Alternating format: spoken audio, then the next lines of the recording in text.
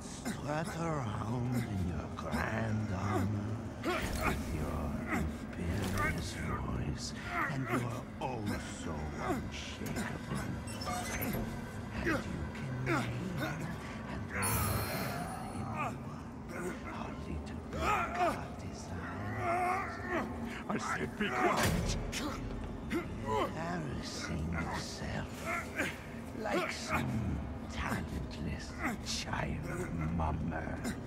They don't respect you, fear you, no matter what you do to them. They all see clearly their hypocritical coward you truly are. Enough!